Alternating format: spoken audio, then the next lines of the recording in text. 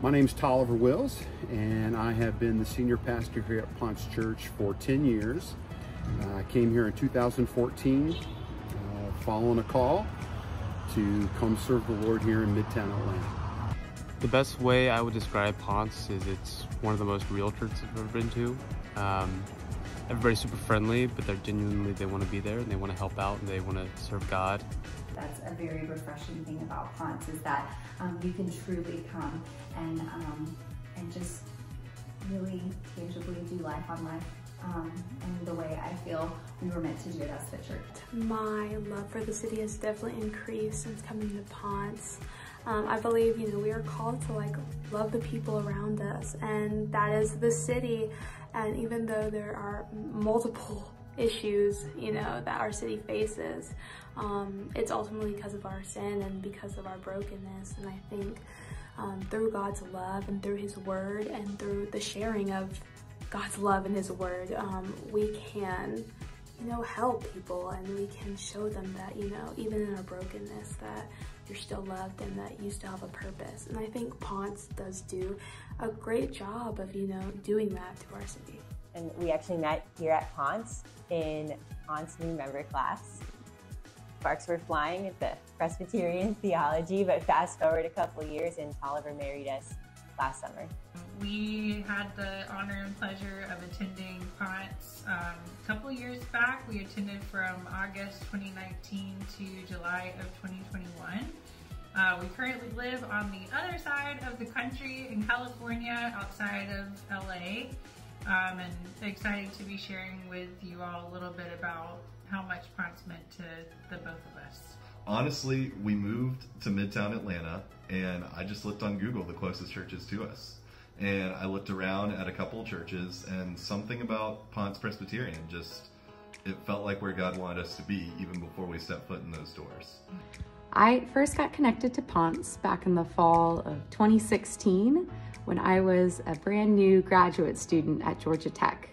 I had had a, a list of churches that I had been planning on checking out, um, but luckily Ponce was the very first one on my list. My very first Sunday in Atlanta, I showed up uh, early. I came to Sunday school.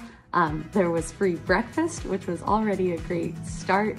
Um, and I was, that was the first time I met my friend Caitlin DeJoy. Uh, it was really fun to feel like I had met someone who cared about me in a church that cared about me as a person instead of as a sort of a, another number of, of a of a, someone in the, this with a seat in the pew.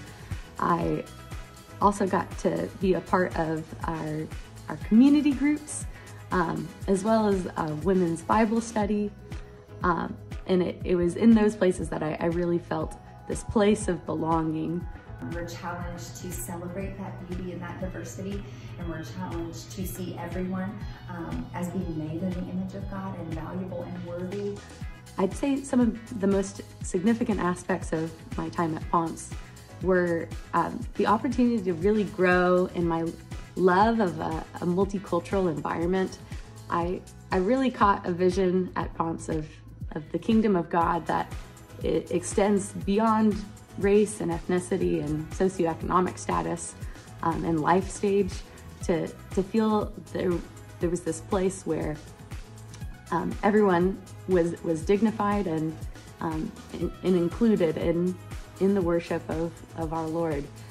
Our time at Ponce uh, and being able to be a part of the community here um, has really just challenged me to, to have God's heart uh, for the city, um, to well to see and know God's heart for the city.